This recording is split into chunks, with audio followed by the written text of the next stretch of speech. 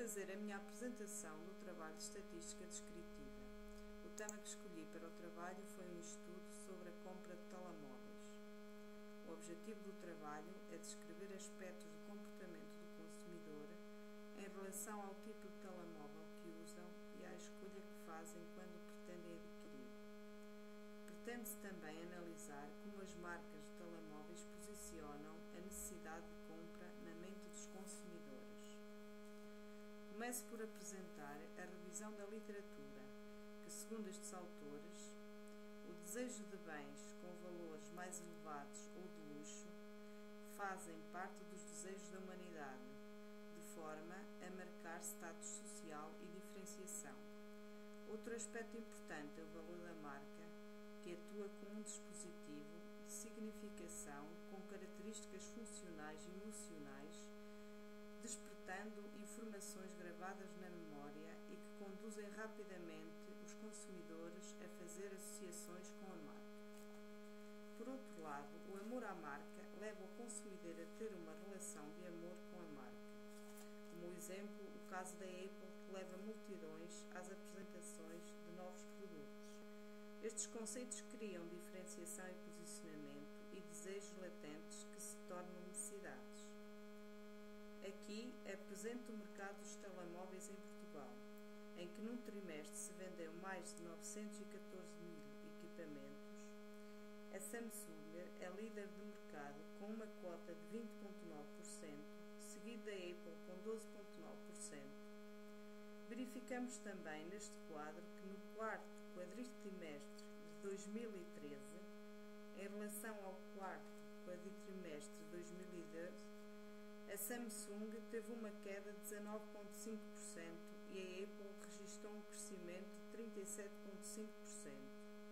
No global, há um crescimento de 16,1%. O mercado de telemóveis usado é feito através de sites online como a Amazon, o eBay, o LX, custo justo e também em espaços físicos comerciais. Em relação a telemóveis usados, não existe dados sobre as vendas.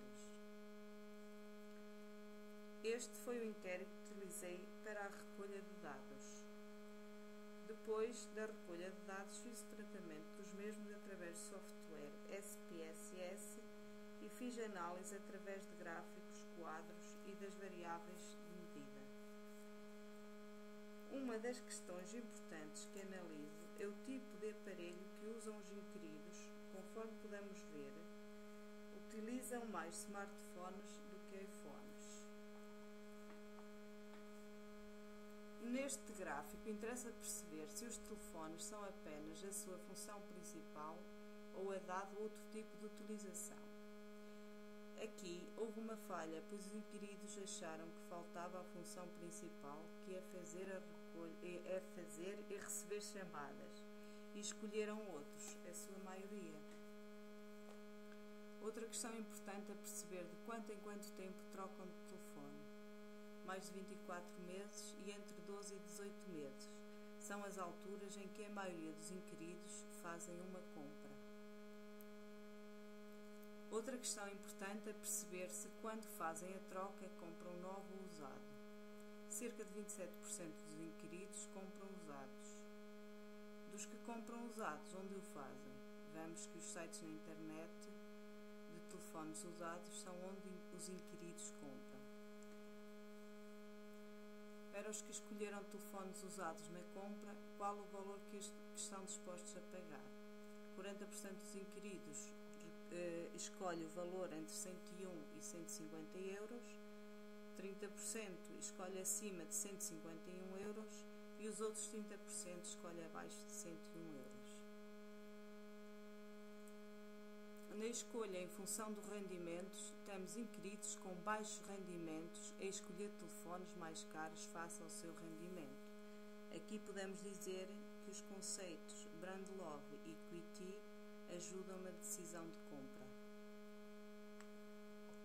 Mais uma análise que nos ajuda a perceber se os conceitos criados fazem o seu papel de posicionar. Vemos que inquiridos com baixos rendimentos têm equipamentos de alto valor. Analisa a idade dos inquiridos, calculando as medidas aprendidas na unidade curricular.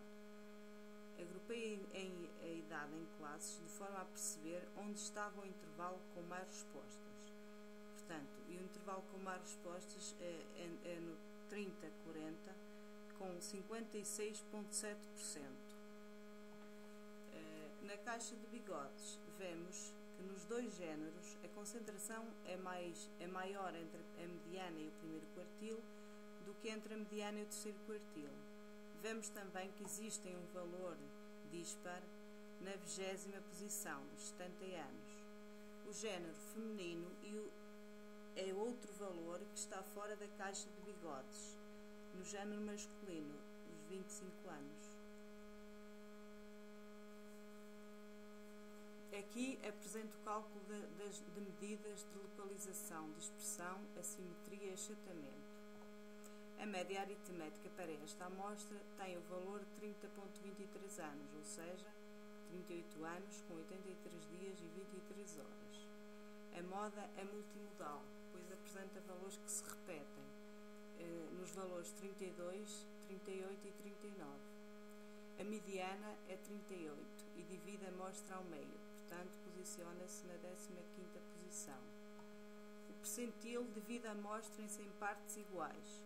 Portanto, o percentil 50 é igual à mediana, que é igual a 38. Desvio padrão, que tem o valor de 8.728, ou seja, a dispersão dos dados relativamente à medida de localização do centro da amostra. Se o desvio padrão é de 8.728, então a variância, que é o desvio padrão elevado ao quadrado, é de 76.185. Em relação à simetria, podemos dizer que a distribuição é, é assimétrica positiva. A simetria maior que 1.96, com uma curva alongada. Achatamento maior que 1.96. Neste gráfico analisamos para o género e as habilitações literárias qual o rendimento. Se tirar um curso superior é sinónimo de maior rendimento.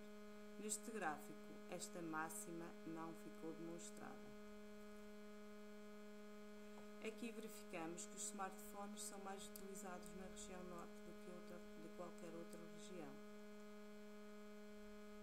Concluindo, os consumidores motivados pelas campanhas de marketing criam valores importantes na sua mente, adquirem produtos que são desejos e não necessidades. Inquiridos que estão dispostos a comprar telemóveis usados aceitam dar por estes equipamentos entre 100 e 150 euros. Marcas criaram desejos nos consumidores e estes, por razões monetárias, não podiam adquirir estes equipamentos, sendo o seu valor mais baixo na compra em formato usado, já pode ser adquirido. Por um lado, satisfazem uma necessidade, por outro, contribuem para o ciclo de vida de um produto e preservam o ambiente. Aprender a utilizar a ferramenta SPSS e variáveis estatísticas que nos ajudam a explicar os dados de uma amostra para utilizar, por exemplo, no caso deste estudo, para, receber, para perceber o intervalo de idades dos inquiridos onde existe um maior, uma maior concentração, direcionando campanhas de marketing em função do segmento e, e perfil. E com isto dou por concluída a minha apresentação.